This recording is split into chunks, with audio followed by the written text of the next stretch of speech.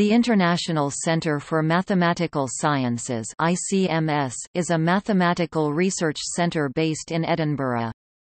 According to its website, the centre is designed to bring together mathematicians and practitioners in science, industry and commerce for research workshops and other meetings. The centre was jointly established in 1990 by the University of Edinburgh and Heriot-Watt University, under the supervision of Professor Elmer Rees, with initial support from Edinburgh District Council, the Scottish Development Agency and the International Centre for Theoretical Physics.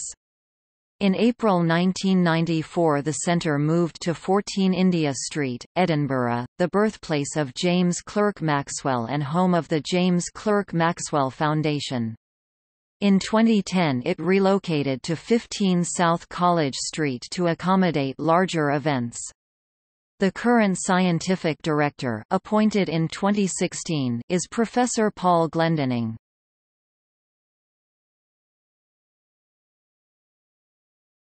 Topic. See also. Edinburgh Mathematical Society. Isaac Newton Institute, Cambridge. Topic. External links.